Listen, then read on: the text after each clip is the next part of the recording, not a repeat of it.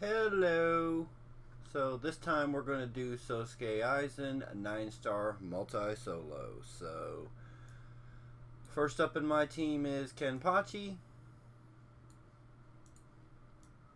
Second is Forseti.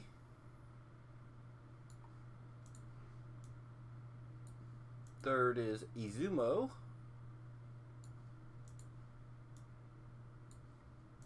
Fourth is Renji. And last but not least is Vampire Lord Evil Eye. Alright.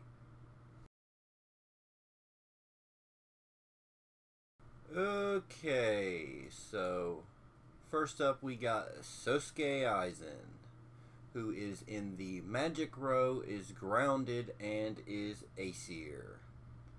Um, his action skill does Dark Ring for two turns to himself, as well as Magic Attack 30% up for two turns. He his attack also does, hits all enemies with Dark Magic Attack, as well as Brand for three turns that affects humans, Jotun, and Beast. His auto skill hits all player parties with Dark Magic Attack, and Shadowbound for three turns. That also hits humans, Jotun, and Beast. He also has a on eight and nine star the high Chaos Field, so you're gonna want to use your Dark Rings your to get to kind of counter that. It's just damage over time, so it will kill you if you're not careful. Alright, so next up we have the magic crystals that are earth are in the range row. Of course, they're airborne, and all crystals are considered to be beast.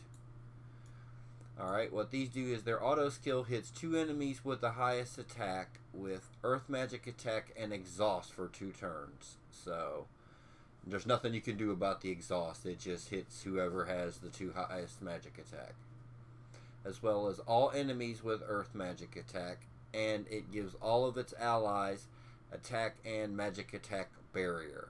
So definitely going to want to get rid of those pretty quickly and use things equipment and skills that kind of bypass barriers are pretty effective and try to hit them with fire.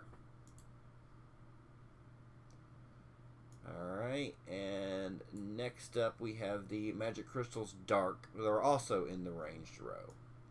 So what these do, their auto skill hits the two front enemies with Dark Magic Attack and Slow for two turns. Again, the slow isn't something that you can really do anything about. It's going to hit the front two of your party regardless, so keep that in mind. With me, it's going to hit, you know, Forseti and Kenpachi.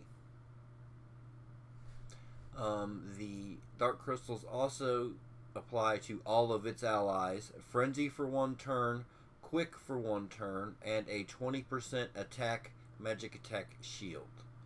So, like I said, with the other crystals, you're going to want to use gear and skills that say ignore shields. So people that have ignore shields and ignore barrier are really effective.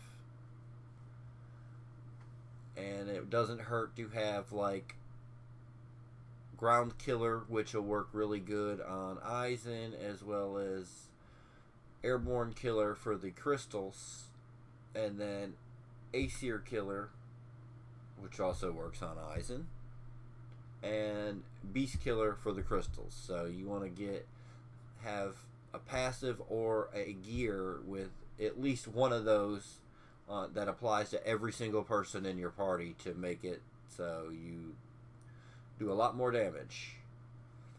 Um, I I kind of like Izumo in this fight because her Divine Aid gives um, status buffs to all, depending on how many Aesir are in the fight altogether. So for me, it's going. I have Kenpachi, Forseti, um, Izumo herself, and Renji, as well as Aizen also counts. So the only one that's not is my Vampire Lord Evil Eye, and she's basically there to knock down the earth crystals and just keep putting frenzy on everybody. That's why I have her running the cursed weapon, the cursed artifact.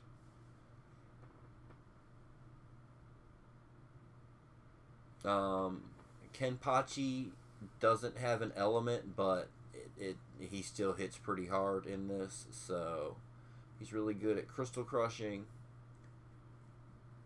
And you're gonna want a mixture of light and fire damage to bust down these crystals, because Aizen himself is weaker to light than fire, so that's why I'm using a lot more light gear than fire gear. Alright, that's it. Now let's check out and see how much damage we did. Alright, thank you for